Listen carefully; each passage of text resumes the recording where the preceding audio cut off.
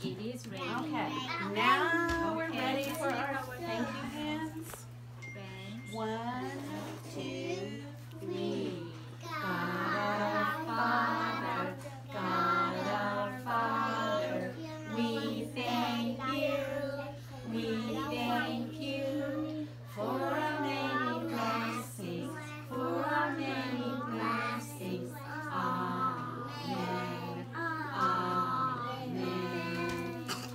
We need some help with your ketchup?